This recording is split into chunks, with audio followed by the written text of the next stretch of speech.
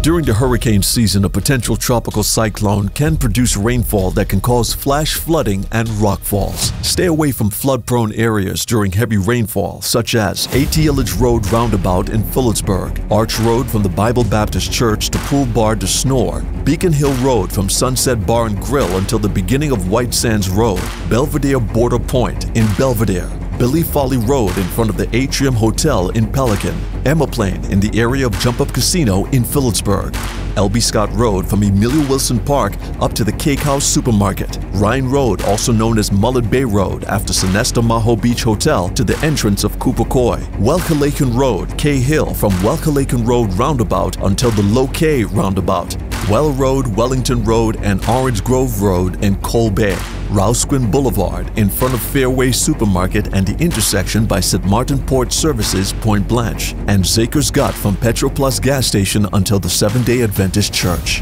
For more information on how you can keep yourself and your family safe this hurricane season, visit stmartingov.org forward slash hurricane. This public service announcement is brought to you by the government of St. Maarten.